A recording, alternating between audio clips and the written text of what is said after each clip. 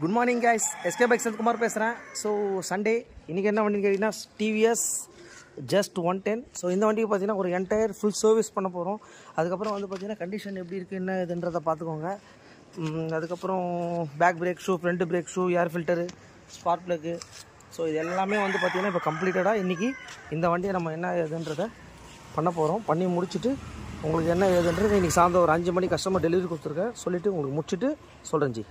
Just one டென்னோட condition பார்த்துங்க உள்ள எல்லாமே நம்ம ரிமூவ் பண்ணியிருக்கோம் ஸோ சர்வீஸ் தான்.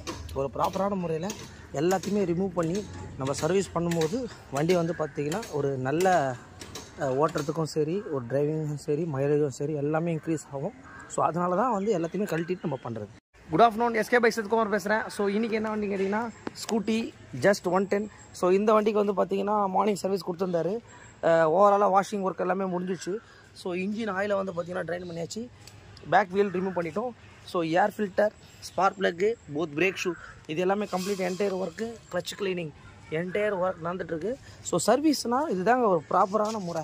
இந்த மாதிரி முறையாக சர்வீஸ் பண்ணால் மட்டும்தான் நல்லா இருக்கும். வண்டி பர்ஃபார்மன்ஸ் எல்லாம் சூப்பராக இருக்கும். Okay thank you SK bikes Kumar பேசுகிறேன் ஸோ இன்றைக்கி மார்னிங் ஒரு எயிட் ஓ கிளாக் வண்டி நம்ம ரிசீவ் பண்ணோம். Sunday just one ten so இந்த வண்டியோட ஃபைனல் அவுட்புட் பாருங்கள் எந்த அளவுக்கு நம்ம சர்வீஸ் பண்ணியிருக்கோம் வண்டியோட பாலிஷ் போட்டிருக்கோம் வண்டி ஒரு புது வண்டி ரேஞ்சில் வந்து இப்போ நம்ம சர்வீஸ் பண்ணி கொடுத்துருக்கோம்.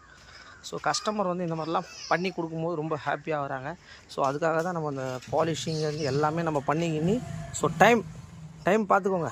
அதிகபட்சம் இப்போ டைம் வந்து பார்த்திங்கன்னா மணி நாலு மணி ஆக போகுது வண்டி ரெடி ஓகே